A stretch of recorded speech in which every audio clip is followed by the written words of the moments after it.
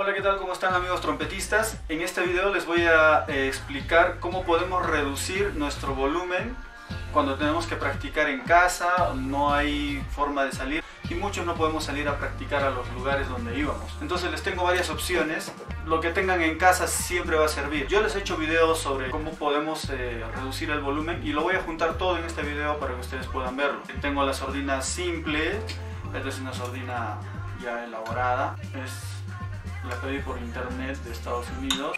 Tenemos el, el Silent Brass de Yamaha y eh, bueno, esta de aquí que es un silenciador también artesanal y la chalina. Un video les hice hace mucho tiempo sobre ello, es lo primero que utilizaba porque no tenía estos accesorios. Vamos a ver cuál es la respuesta del sonido de la trompeta y la diferencia con los demás.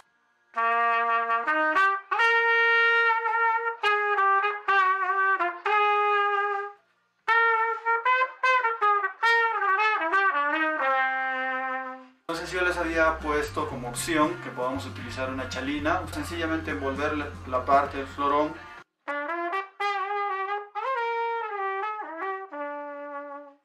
La sordina pequeña de estudiantina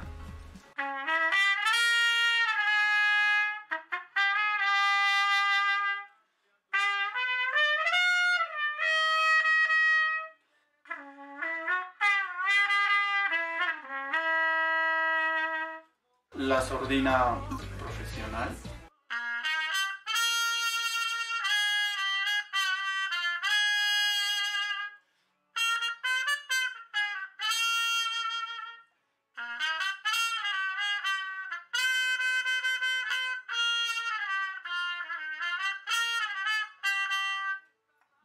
Y esta, este accesorio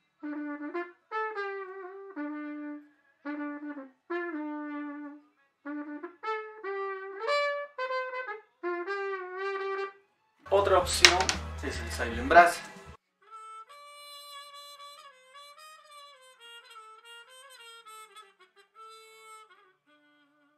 Me parece que esta es la que más volumen quita, pues obviamente porque ha hecho para ello.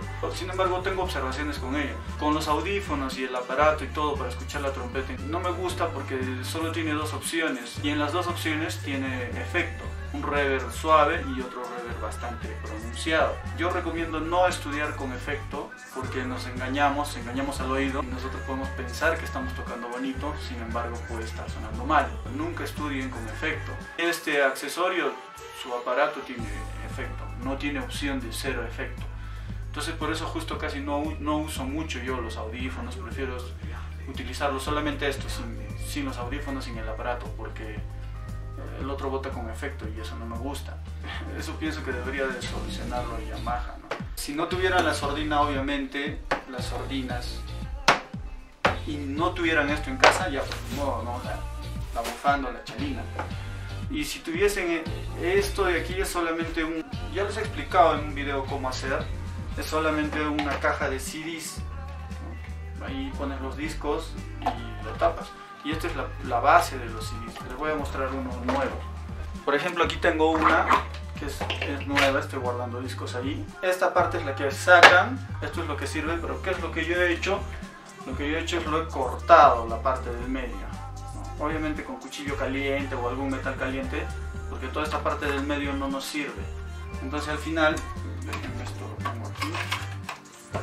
Entonces al final les queda así y en los costaditos yo le he hecho unos ganchitos.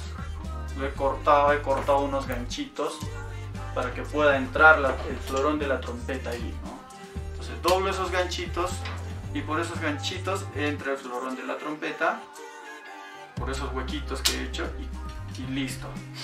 Entonces eh, queda así sujetado. Y por los puntitos que tiene el portadisco el le giro y ya está.